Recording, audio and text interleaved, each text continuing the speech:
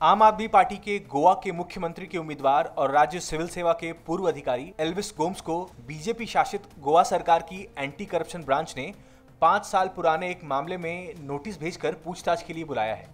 आम आदमी पार्टी ने इसको राजनीतिक षड्यंत्र का नाम दिया है। उन्नीस तारीख को अरविंद जी वहाँ गए थे और वहाँ पे उन्होंने गोवा के जो विधानसभा के चुनाव होने वाले हैं, उसके मद्देनज़र मुख्यमंत्री पद के उम्मीदवार के तौर पर वहाँ के जो आम आदमी पार्टी के स्टेट कन्वीनर है एलविस गोम्स, उनको मुख्यमंत्री पद का उम्मीदवार घोषित किया था। और उसके अगले ही दिन वहाँ के एंटी करप्शन ब्यूरो ने उनको सम्मन भेजकर आज यानी 26 तारीख के लिए तलब कर दिया।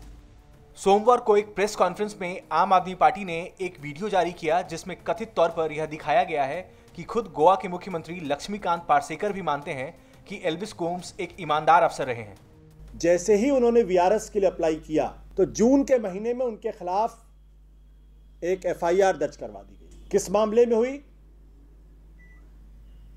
वो 2011 का कोई मामला है। पाँच साल तक बीजेपी को कोई होश नहीं आया।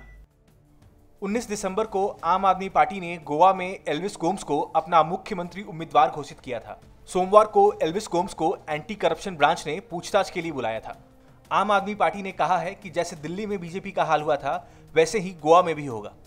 गवर्नेंस नाव के लिए पंकज कुमार।